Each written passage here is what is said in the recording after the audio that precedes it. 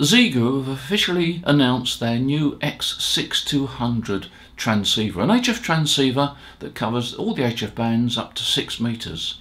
It looks a great transceiver to take out portable and it offers a number of interesting features. So what I'm going to do is I'm going to tell you what I know so far about it. Our sample is on its way to us and as soon as we get it I'll do a more detailed review of it. But in the meantime let me tell you what I know about this exciting new transceiver from Xiegu, the X6200.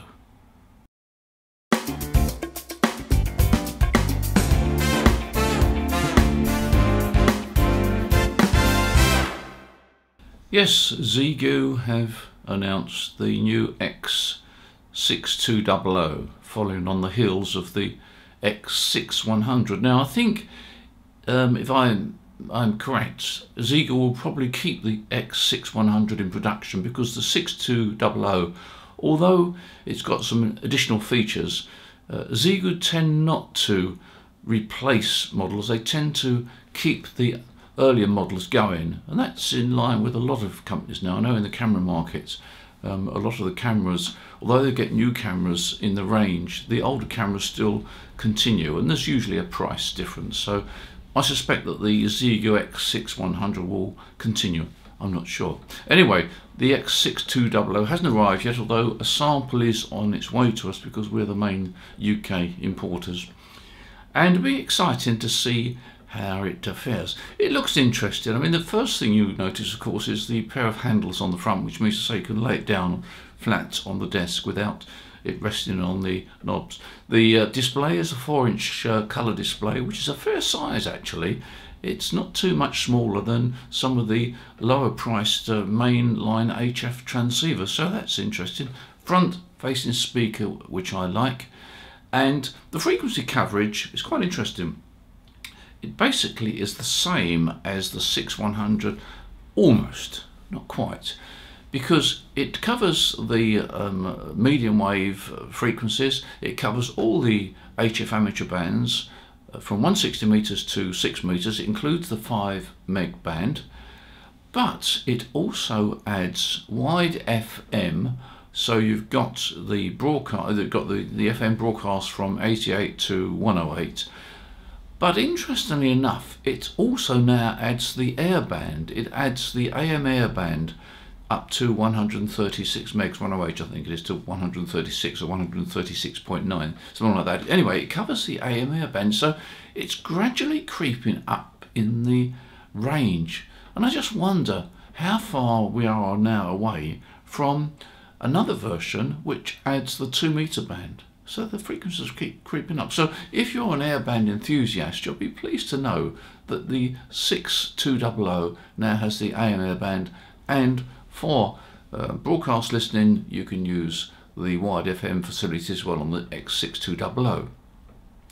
Battery wise, it's now got a detachable battery, which I think a lot of people people will welcome. It means to say that you can actually carry, presumably, an extra battery. I, presume Xiegu will provide the, the option of an additional battery, but the battery is detachable. Now, I noticed the power level um, is still 5 watts, but they've they seem to have downrated it to 8 watts on an external supply. Um, I seem to remember before on the 6100, I have to check this, but I think the 6100, they claim 10 watts, but they've downrated it to 8 watts, and I suspect they've done this for um, current consumption purposes. I know that with my Xiegu X6100, I often actually do turn it down to 8 watts because there's a significant difference in current drawn between 8 and 10 watts and the difference in the signal is very small indeed. So uh, going down to 8 watts is not uh, uh, a problem really in terms of signal strength, but it's certainly a plus feature in terms of battery consumption.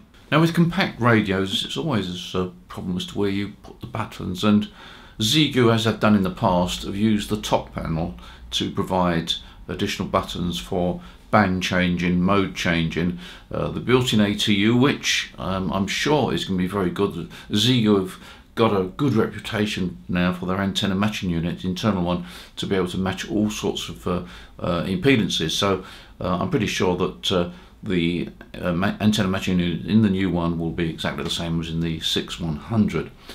The on if you look on the top panel, you'll find there's a there's a looks like a rubber bung or rubber plate there. I'm not sure what's behind that. There's no indication on the leaflet I've seen to indicate what that is. Um, I suspect it may be some sort of connectors there behind there, but I'm, I'm not sure, and there's no way we can find out until we've actually got a sample. But I've got another photograph of the top of the radio, and it's clearly labelled expand component, which suggests that something will plug in there to expand the radio. Now, in the literature that uh, Xiegu have published, they do hint that the radio is capable of having expansion, including frequency expansion. So maybe there's some sort of frequency expansion module that goes in there. Could it be two meters? Could it be four meters? I doubt it's four meters. I, I think 70 meg, megahertz tends still to get bypassed by a lot of the Chinese um, products. But it could be two meters. We'll have to wait and see. But certainly there's obviously something that plugs in there. And as they make reference to expanding the frequency uh, capability of the radio, it well could be a two meter transverter. We shall have to wait and see. Now, when I look at this X6200, it reminds me that Xiegu are becoming a really serious player in the amateur radio market. There's a number of Chinese manufacturers that manufacture handhelds and a few manufacture HF transceivers. But Xiegu seems to be the serious player. They've got a plan, a continuation plan. They're developing their products from year to year or even month to month sometimes. And it's nice to see some low cost products coming into the market with a major, what is I think, becoming a major player from China that is taking the amateur radio market in a serious way. In some ways, I'm surprised that they haven't actually developed the G90 further because the G90 is probably the most popular budget priced HF transceiver now. And it's been around for a number of years and everybody that uses it loves it. My only criticism is the screen is a bit small, but there, there again, that's uh, it's not a problem for most people. And it's a colour screen, and you get an excellent VSWR meter. So I'm not quite sure why they haven't developed that. There must be a reason, but they seem to be concentrating very firmly on the low power market. Now, I just wonder how long it's going to be before we get a higher power transceiver from Xiegu. But anyway, what I'm really saying is that there seems to be a plan. Xiegu seem to be taking the amateur radio market in a serious way. They've been very successful. They're producing some very interesting transceivers and at somewhat competitive price. So, of course, we shall have to wait and see what their next move is. But anyway, let's go back to the X6200. Xiegu highlight the very wide-ranging built-in ATU. There's a panoramic display for the VSWR readings, which is very handy, so you can see the response of the VSWR across the band. And it's also got a built-in microphone, and if you look on the top panel, you'll see the PTT button there on the left. The design is SDR all the way, and it's got noise reduction feature built in. You of course have got the waterfall display, and they explain in very broad details that it's got two USB interfaces and it seems to have a lot of facilities for linking to peripheral uh, items, although they don't go into any great detail there. But they do specifically mention FT8 and obviously it links into an external PC for that purpose. It has built-in recording feature for recording messages. I'm not sure whether it is CW only or audio. I think it's audio as well because if you look on the side here, I think as well as the two USB sockets, you'll actually see what I think is a an SD card slot. And here's another shot, and I think that definitely is an SD card slot at the uh, top left there. And if we look at the other side, you can see that the antenna uh, connection is BNC. And if you want to increase your power, Xiegu have now produced a lead which will directly connect the X6200 to their XPA125 power amplifier. So you now know as much about the X6200 as we do.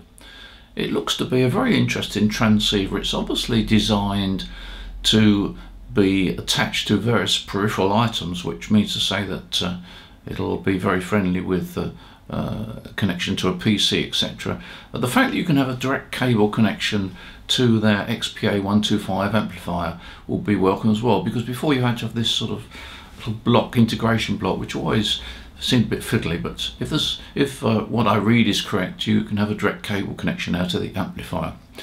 I actually have been using the X6100 for the last year or so and I thoroughly enjoy it. I've used it out portable an awful lot, both on CW and SSB. I love the internal ATU, it's really good. I like the display, it's very clear to read.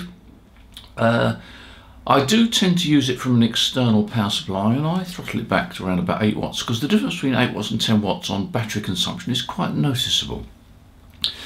Certainly it would be nice on, as they're going to have on the X, uh, X6200 to have a removable battery. That would be a, a, a great uh, a great asset. So all in all, uh, it's good. Whether the USB sockets can be used to charge or not, I don't know. I'd be surprised if they weren't able to charge the radio, but we shall have to wait and see. In the meantime, thank you for watching this video. Thank you for your support on this channel. Thank you for your support in the shop. And as soon as I get a sample, I will do a more detailed video on this radio. In the meantime, you enjoy ham radio. Take care. Look forward to seeing you in the next video. Bye for now.